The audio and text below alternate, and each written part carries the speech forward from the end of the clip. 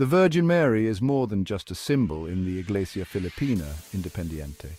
According to Article 14 of the Articles of Religion of the Iglesia Filipina Independiente, the Virgin Mary was chosen by God to be the mother of Jesus Christ.